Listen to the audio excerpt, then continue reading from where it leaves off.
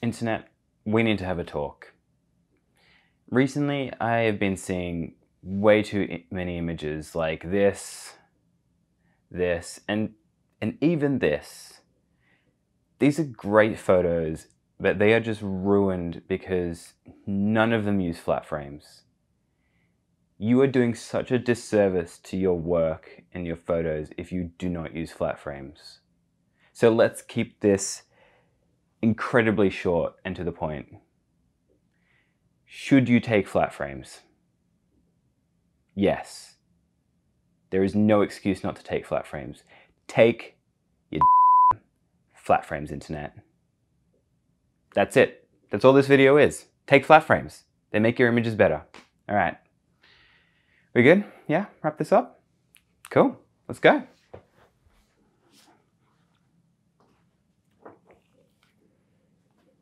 Why are you still here?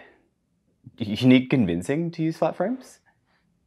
Okay, okay, let's make, let's, again, let's keep this, let's keep this quick. Why should you use flat frames? What do they do?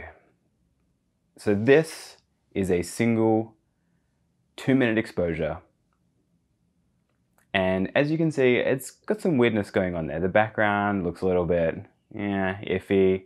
Here's another one. Here's another one here. You can see up the top there, the top right there's a, there's a huge dust spot, this really big dark spot. But here's that first image again with flat frames calibrated out. Okay, we'll go, go between them. This is no flat frames and flat frames.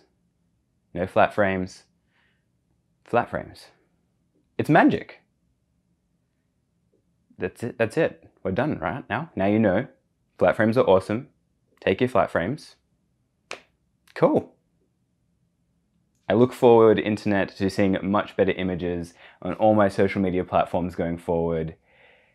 Spread the word. Flat frames are awesome. Cool.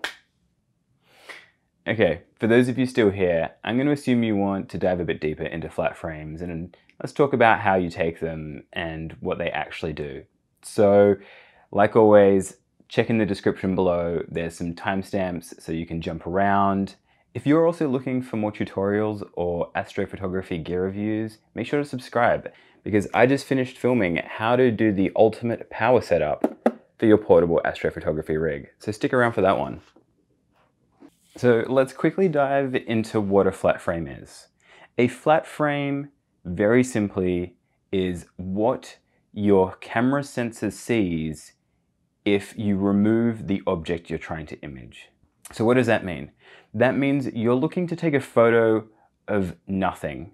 You're looking to see what imperfections are in your sensor, in your telescope or your lens, uh, in your filters, anything that's part of your optical train. Every time you introduce an element to that optical train, you will lose a bit of quality or a little bit of clarity or maybe add a bit of vignetting or possibly there's some dust spots on those pieces of glass.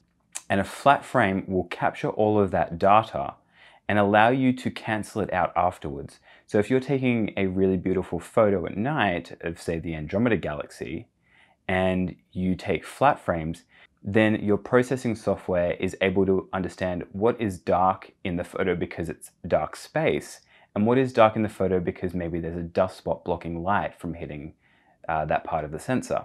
And it can compensate for that. So how do you take flat frames? Flat frames are really the easiest things to take. I have two methods that I use, but I have seen people using a third method as well. So the first method that I use, and this is by far the cheapest and easiest method, is um, using a piece of paper like this. Some people use pieces of paper, some people use white um, t-shirts or bits of bed sheets or pillowcases. But the only thing that matters is that you want something that is very uniform that you can put over the front of your lens or telescope. So as you can see here, I have the Redcat 51 and this bit of paper is actually folded and taped to the correct size that it fits nicely over the front there. And so what I do is I point the Redcat up into you know a plain bit of sky where there's nothing obviously that's going to be shading it I cover it in my piece of paper and I take 20 images. That's all. That's all you have to do. And that will then essentially So long as this front bit here is evenly illuminated, it doesn't matter if it's during the day or at night or you've, uh, you can hold like a, a screen up or something like that to it to illuminate it. So long as you see that it's a flat illumination, that's your flat frame done. Now this method can get a little bit annoying because it requires uh, usually daylight. So most people take their flats if they're using something like this or a t-shirt or a bit of sheet. Uh, usually they take it at dusk or at dawn. So maybe they go out for the night, they set up their rig, you know, you get your rotation to where you want, you let it photograph for a bunch of hours and then in the morning, and this is what I do because I'm very lazy, in the morning I then come along and I say, okay, great, it's finished taking all the images. I put this cover over the front of the telescope, I take a bunch of images, that's my flat frames, and then I'm done for the night.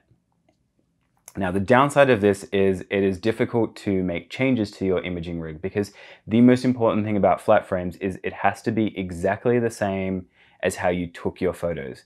The exposure length doesn't have to be the same, but you cannot rotate the camera, you cannot change the focus of the camera, you cannot change the filters in front of the camera sensor.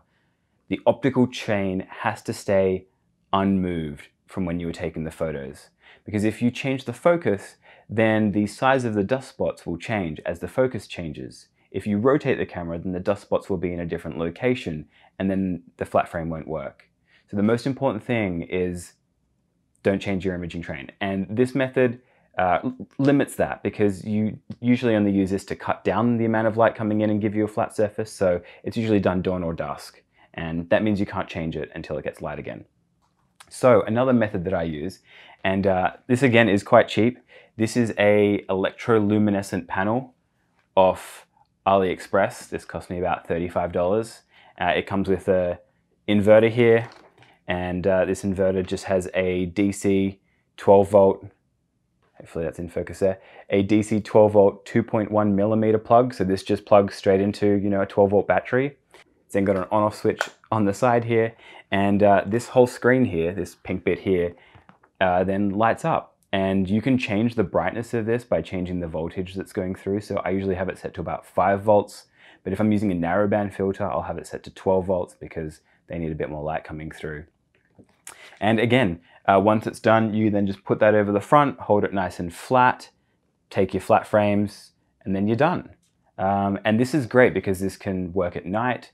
Um, you could set this up on a wall, and uh, if you're using something like nighttime imaging and astronomy, NINA software, then you can even automate it so that this can get turned on and off at the time that you want it. You can set the telescope to look at it, so you could take a bunch of photos and then you know take your flat frames and then change your filter and take some more photos and continue on that way through the night. So having a source of light like this is really good because um, Firstly, it's really light and cheap. It's flexible. It can just go into my backpack nice and easily, so it's portable.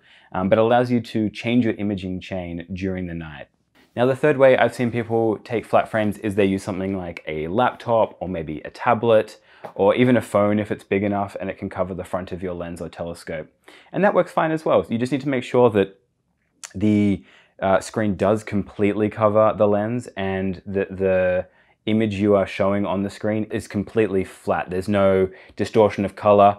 Sometimes if you get too close to the edge of screens, they actually have a bit of vignetting in them themselves, which our eyes won't pick up, but a camera it definitely can pick up. So be careful that your screen size is large enough to completely obscure your lens or telescope. So the next most important thing about a flat frame is that you expose it correctly. Flat frames should be exposed where you have a peak in the middle of the histogram. And I'm going to show you exactly what that looks like right here. This is what a good flat frame looks like. You can see there is a full histogram. This shows everything from the shadows all the way up to the highlights and everything in between. And you want to make sure that you have a peak in your histogram right around the middle. Um, that's going to mean that you don't lose any detail in the highlights or in the shadows. There's a nice even distribution and there's no clipping. So sometimes if you're taking your flat frames using a method like this or a t-shirt, um, you may find that the exposure has to get extremely short. Um, to compensate for that, you can actually just add some more layers. You know, this, is, this piece of paper is folded over about four times. Um, so it's quite thick at the front and that means that even during broad daylight, I can still take my flat frames because as I said earlier, I'm lazy and don't get up too early after I've been imaging. Um, but similarly, if you're using a t-shirt or a bit of linen, just add multiple layers until you get the right exposure if you find that your image is becoming too short. So how many flat frames should you take? Well, I take 20 and find that works really well. Uh, you can take more than that if you like. Similar to most calibration frames like darks and biases, when you double the amount of the frames you're taking, you halve the amount of noise coming out of it. Um, and so you can definitely keep going, but I find 20 is a really solid number to take. It gets rid of the vast majority of the issues. The images look really nice and flat afterwards. And you could, if you wanted to halve the noise again, then you'd have to go to 40 and then 80 and then, you know, 160. And, and so it becomes exponentially more difficult to get rid of the tiny amounts of noise at the end. Whereas 20 is still a very good number. And finally, let's finish this video off like all good videos should be finished off with an image comparison. So here we have a fully integrated image without flat frames. And it looks okay. But here is that exact same image, fully integrated with flat frames. And it just, you've put so much effort into your photos, taking them, editing them, do this one little last bit and you'll really be able to reap the rewards. That's it for today. Like I said, if you enjoyed this video, hit subscribe, hit the like button, and if there's any specific tutorials that you would like to see, make sure to leave a comment down below. My name's Rowan, this is Astro with Roro, and thanks for watching.